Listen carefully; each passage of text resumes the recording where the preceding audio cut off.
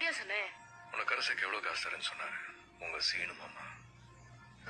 பசி வந்து என் புள்ள உளர ஆரம்பிச்சிருவான்னு உங்க அம்மா சொன்ன சரியாவே போச்சு. அவனும் முட்டா உங்க அம்மாச்சு மூச்சிக்கிறா சொல்லிட்டு போச்சு நான் வேறு பையன்.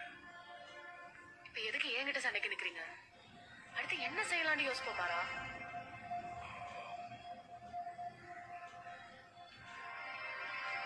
அடுத்து என்ன செய்யணும்னு யோசிக்கணும்ல?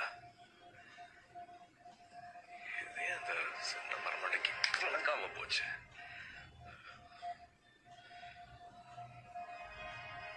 சந்திரக்கு கம்பெனி வச்சுக்கிற தொழில் பெருமை எப்படி ஃப்ளைட் ஒன்று சொல்லி கொடுக்க போறா இல்ல சொல்லுங்க சொல்லுங்க கேட்டுக்க சொல்லுங்க நீங்க ஒவ்வொரு தடவை உங்க ஐடியாவை தூக்கிட்டு அந்த இன்வெஸ்டர்ஸ் முன்னாடி நிக்கிறப்ப உங்களை பார்த்து சிரிச்சு காரி துப்பி அனுப்பிச்சாங்கல்ல அவங்களுக்கு உங்களோட ஐடியா ஒரு கப்பு கேட்க மாதிரி தான் சொன்ன அந்த கப்பு கேக்கு தான் நம்ம சோறு